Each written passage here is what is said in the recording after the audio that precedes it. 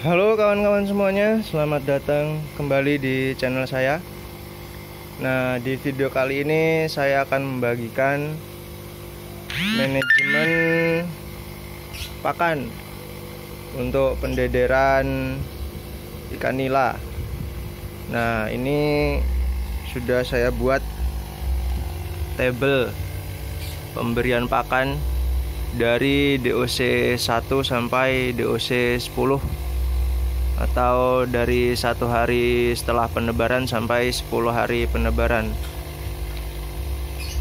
Dan saya menggunakan pakan PSC PSC min 1 dengan kandungan protein 38 sampai 40 persen. Ini dia. Nah ini pakannya berbentuk seperti bedak atau powder.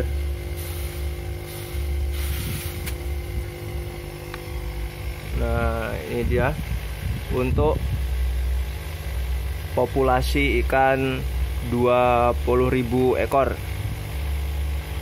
Karena saya menggunakan patokan per 10.000 ekor itu 100 gram pakan untuk 10.000 ekor dengan penambahan pakan per hari itu 5 gram.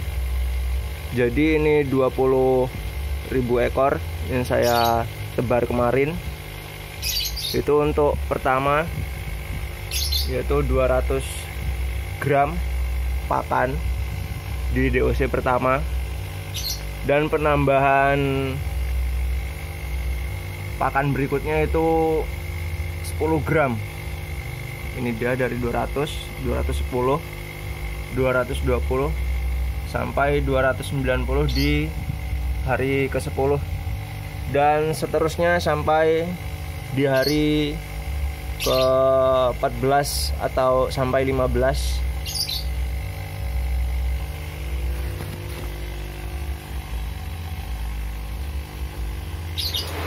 Nah ini untuk pembagian jam pakannya. Itu saya bagi tiga waktu di jam 9 pagi jam 12 siang dan jam 3 sore. Nah selanjutnya ini saya akan memberi pakan di sini di DOC pertama di pagi hari di jam 9 Nah ini pakannya sudah saya timbang. 65 gram. Dan untuk penambahan aditif pakannya saya menggunakan vitamin C. Ini vitamin C sudah saya larutkan dengan air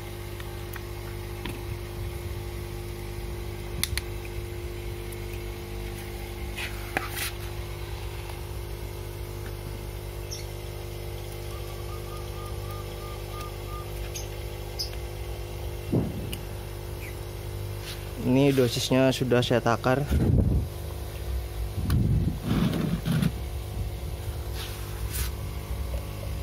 Saya cukup menggunakan satu tutup botol saja.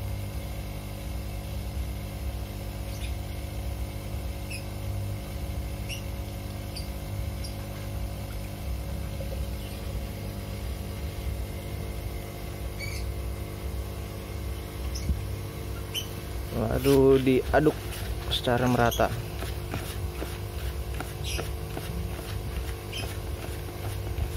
Nah, pemberian vitamin C ini bertujuan untuk menjaga imunitas tubuh ikan agar kuat dan sehat sehingga tahan dari serangan penyakit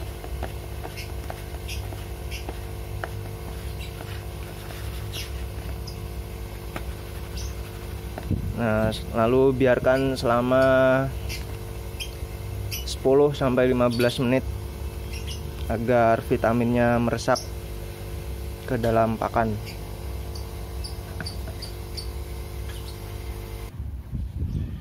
Nah sudah 15 menit dan sudah mengering Dan langsung kita beri ke ikannya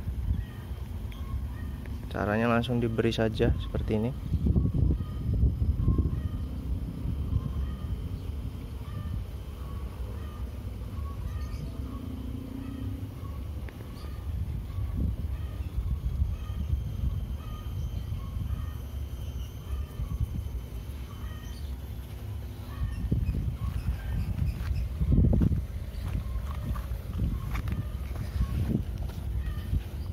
dan tebar secara merata ya di beberapa titik. Agar ikannya mendapatkan pakan yang merata sehingga tidak ada ikan yang tidak kebagian makanan. Nanti akan mempengaruhi size atau ukuran agar tidak terlalu belantik atau ukurannya jomplang bedanya. Nanti ada yang besar ada yang kecil. Jadi pakannya harus merata